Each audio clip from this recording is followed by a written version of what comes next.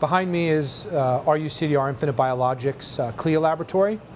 The CLIA laboratory suite consists of a, a pre and a post uh, laboratory that allows us to fractionate and extract nucleic acid samples for analysis in the diagnostics laboratory. And the post laboratory is where uh, the analysis is done, um, whether it be next gen sequencing, uh, quantitative PCR, or microarrays. The lab focuses on oncology-based diagnostic services, but also offers a variety of other molecular-based diagnostic services as well.